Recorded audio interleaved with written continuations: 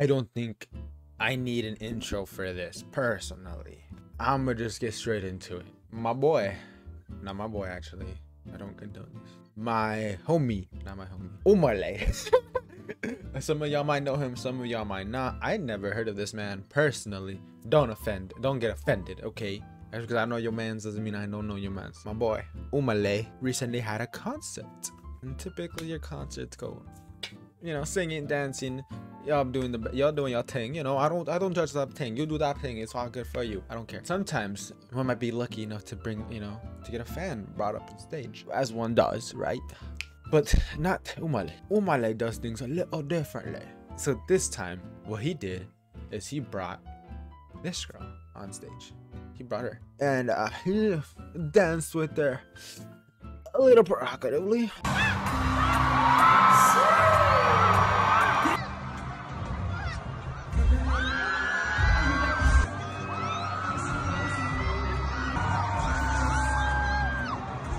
Uh, I can sense a little bit of tension in the air. Though he was dancing with her. If that's not bad enough, the girl he was dancing with has a whole ass dude. She has a whole ass dude. Brother, you must be joking. You must be out of your cracked mind. There's no way you let your girl dance up there. I mean, it's not on her fault. It's not your fault, buddy. Don't get me tripping. It's not your fault at all. But like, you know, what I feel me? Like, you see homie, you see girl, your girl go up there with Umala? Cause ain't no way. And the way he was, she was dancing with him too. She was cheating on him in front of everybody, bro. Now, it's one thing to cheat on your partner.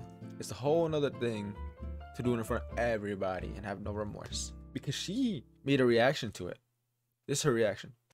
Hi everyone. Um, I started to do story time I tell my side of the story because the amount of hate I'm getting, I'm getting I'm getting called all types of things that I've never even heard before. Like it's getting a bit scary and I keep coming and keep coming. But obviously before I get that started, I want to publicly apologise to him. Obviously me and him we've had private conversations where we spoke, but since it was public, I think the right thing for me to do is to publicly apologise to him. Like that was bad, but you know, I made it it was honestly a mistake.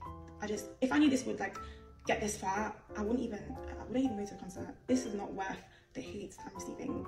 Why am I okay? First of all, first of all, who's Fafa? No, who's that person? Whoever said that my name is Fafa? Can you come? No, come please. Because how? I literally, I literally went on stage. I literally said my name is Jess. I said it twice. So I don't know how people are getting this like information from. That's not my name, please. Like no. Um, and also people saying that he's the one that bought the tickets. Who? Like who? Who told you that as well? Who said he's the one that bought the tickets? It was me. I'm the one that bought the tickets. That just tells you a lot because us women, we can do things as well. Like if I want to take my man out, I'll take my man out. Also, me and him, like we've had private conversations about going on stage with Omah Lay because he does this at his shows. If you know, if you really know Omah Lay, you will know that he's done this in his past, at his past concerts. Like this is what he does. This is literally what he does. Like it's nothing new. So obviously, I said, you know, about this conversation. Like I said to him, um, if I was to get called on stage, I'm going to go on stage. And he said that's fine. Like he's been saying that's fine. Like we, me and him never ever ever had an issue with me going on stage, even when the time came. Like I think there was a video where people were saying like I was moving away from him, like I was pushing him away. Like no, like Omah Lay literally looked at me and said, "You, to me." I just got really excited because Omah Lay is like one of my favorite artists. I don't care what anybody says. Like you all have favorite artists. I didn't want to hear that. Like so, he's mine. So obviously he's my favorite artist, not mine. Um, so obviously I got really excited. I was just genuinely happy. And obviously when I moved to the side, um, that was when he asked me to go on stage. I was just waiting for um, obviously the security to get me out of the crowd. That's why I was even stood there. Which is crazy. No remorse, no sympathy. And homie's not ugly, okay? It'd be one thing if homie was ugly, right? Not Umala, her her boyfriend, her man, if her soulmate, her significant other, her partner to be, her baby dad, her Prince Charming, her Michelangelo, her Vanessa Violet. I don't know. I don't even know what I'm saying. It'd be one thing if homie was ugly. Like if it was me, I'd be like, oh shit, man, I assume I can understand. But it was this guy. He's not ugly. Okay, personally, I know when ugly guy's ugly, and he's not even close. Which is crazy. Which is crazy. This is wild. Anyways, cutting to the chase.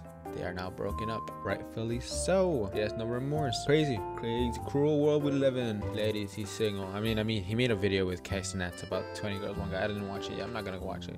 Who do you think I am supporting the bigger person here? I don't support big creators. I only support small creators like me who is under 100. I'm at 99 subscribers right now. Please subscribe. If you're my 100th, I'll kiss you in the face. Hold me to that. So when I do a meet and greet, he's like, I was 100 subscribers. I'm gonna kiss you straight in your mouth, boy. Straighten your own fat, juicy lips. Anyways, that's all for me tonight.